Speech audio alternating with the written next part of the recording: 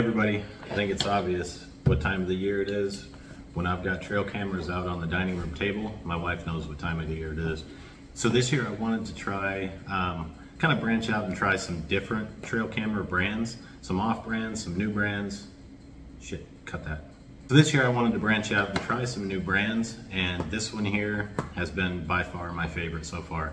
So I've got a couple of these hung. I just got this new one. I figured be a good opportunity to talk to you guys about it, tell you what comes in the box, how easy it is to set up, and just how great a quality I've been getting out of this. All right, so taking a look at everything that comes in the box, obviously you got the camera itself, you've got a strap, actually sucks up really tight. It's got a um, kind of a pull buckle system there your mount for it, obviously the antenna because this is a 4G cell that works with pretty much every provider.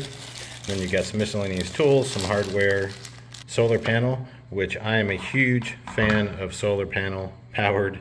And one piece of advice I'll give you is before you take it out and set it up, give it a full charge. Plug it in at night, um, the night before you're gonna go set it up. Just let it charge a good 8, 10, 12 hours that way, when you get out in the field, you're starting with a fresh charge, and then that solar panel, all it's doing is keeping up and just trickle charging it. All right, so I got it mounted here in the back of my property. Wanted to show you. So I've got the solar panel mounted up there, and all it does is just plugs into the regular charging port that you charged um, it in before you brought it out here. And you got your cell phone antenna that just screws into the side. We'll open it up. So you can do either cloud-based recording or, so this is where you install your SIM card and then you've got your SD card up there. We'll turn it on. Then you'll get a red light for power. And then in just a minute, these lights will go solid and you'll be good to go. All right, so we're gonna give this a couple days, see if we get anything here.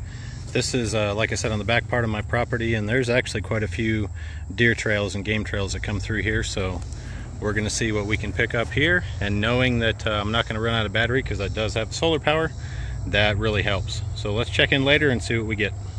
All right let's take a look at the app. Super easy to load. Here's your home screen. Any cameras you have will be here on that main screen. You can check the status of your 4G service as well. And then everything is within the app. Here's your cloud video services. This is where your pictures and your videos are going to be stored if you have cloud service turned on.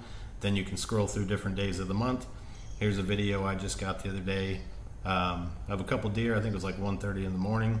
Um, so I'm really happy with the night vision that this has with the infrared. Obviously you can see it didn't scare the deer away. When it first triggered, the deer looked up, but then it was fine and comfortable after that. So a couple deer, there's one in the background walking through the trees.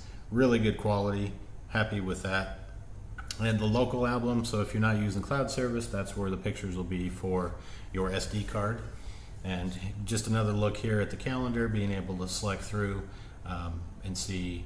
And then your typical settings, there's my friends. You can add a friend through here if you want somebody else to be able to have access to your camera. You can share that there as well. And then your live view. This here, this camera is at an area with very, very low cell service. My phone barely even gets any service there. And I can pull this video up anytime.